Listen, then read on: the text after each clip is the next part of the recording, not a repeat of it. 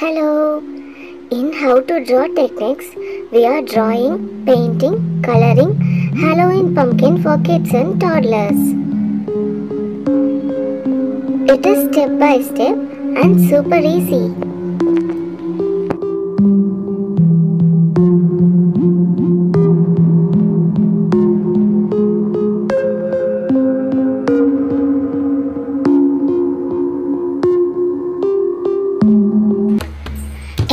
The scary Halloween pumpkin.